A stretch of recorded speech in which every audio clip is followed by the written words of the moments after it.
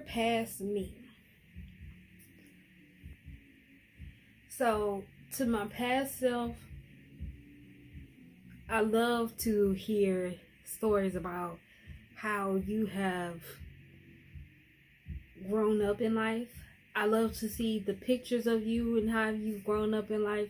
I love to see how you aspire to do more things, you know, be more helpful, be more um what's the word so to speak, be more productive in the sense of wanting to get things done, wanting to help your family if anything is happening, you know, um loving to learn new things as far as like organizing in something or you know creating a new design or something. Like you really have grown up to be an astonishing young lady woman you know i'm saying? You're gonna be a great mother you know. I did not know that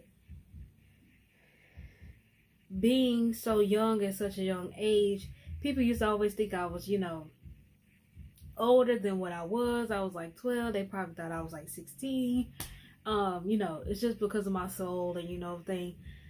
Um, but I love to see how even as a baby, you had such happy photos. You was always such a happy baby. Your mom always talked about, you know, um, how you you didn't cry over certain things or how overall just to see how you are today is the same way that you were when you were a kid. And it's just so interesting to hear about that. But overall, to my past self, I love you, girl. You, girl, you didn't even know all the shit that you gonna be going through as you got older. Like, man.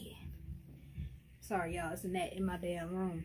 Um, but yeah, honestly, to my past self, like, I have no qualms about anything that you had went through, anything that you dealt with emotionally. Like, everything that you went through in your past, you had to go through to get to the point where you are today. And I love you for that. Honestly, you have you have passed my imagination of where I thought that you was gonna be in your past. So you did good, girl. Keep up the good work.